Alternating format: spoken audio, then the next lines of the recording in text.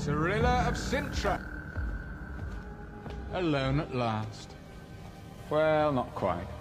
I've brought more friends this time.